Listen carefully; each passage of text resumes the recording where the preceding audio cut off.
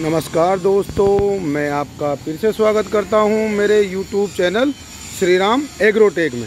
दोस्तों, आज अपन लेके आए हैं आइसर आइसर चार जो अपना ओरिजिनल आइसर हुआ करता था रेड कलर में। उसी मॉडल में आइसर कंपनी ने ट्रैक्टर निकाला है, बेहतरीन ट्रैक्टर निकाला है, बहुत ही बढ़िया, ये तीन सिलेंडर ट्रैक्टर है, और इसमें मल्टी पीटीओ रिवर्स पीटीओ सभी फ़ंक्शन दिए गए हैं। आज के समय को देखते हुए हेवी अर्थमोर्स के लिए हमने इसमें पोल लिफ्टिंग क्रेन बनाई है। ये आपको हार्ड एरिया में चलेगा। ये उदयपुर के लिए अपने इस मशीन को बनाई है। रविराज इलेक्ट्रिक से उन्होंने बनवाई है हमसे मशीन इसमें हमने काफ़ी हैवी ड्यूटी गेयर बॉक्स लगाया है और इसमें पत्थर में चलने के लिए उदयपुर के लिए हमने इसमें नीचे पत्थर वाले बिट लगाए हैं। और मैं आपको दिखाना चाहूँगा इसमें गेयर बक्सा भी हैवी ड्यूटी लगाया है। अब एक बार मैं इसको चला के दिखाता हूँ आपको। कितना ये हैवी ड्यूटी है। ये देखिए, बिल्कुल स्मूथ चलेगा। बिल्कुल, कोई वाइब्रेशन नहीं है। बिना वाइब्रेशन के। मशीन कोई वाइब्रेशन नहीं कर रही।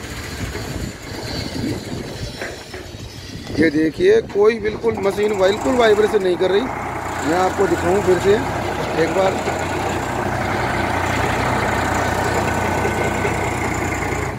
ये देखिए, ये हमने हमारा जो मैंने आपको हेवी ड्यूटी गेयरबॉक्स बताया था, वही गेयरबॉक्स लगाया है। R B Agrotech industries from से हमने इसको मशीन को बनाया है और heavy duty heavy duty machine बनाई है। ये देखिए, ये अपना आर बी एग्रोटेक इंडस्ट्री जो जयपुरा डिस्ट्रिक्ट एरिया में मैंने बताया था आपको, वही वहीं की मशीन है और देखो, बहुत ही बढ़िया मशीन बनाई है। ये पोल लिफ्टिंग करें विथ पोस्ट होल डिगर दोस्तों, आप मेरे YouTube चैनल को मेरे mobile number nine three five one two three four one zero one से भी देख सकते हैं, जिसमें आपको काफ़ी वीडियो मिलेंगे और हर चीज़ के बारे में मिलेंगे।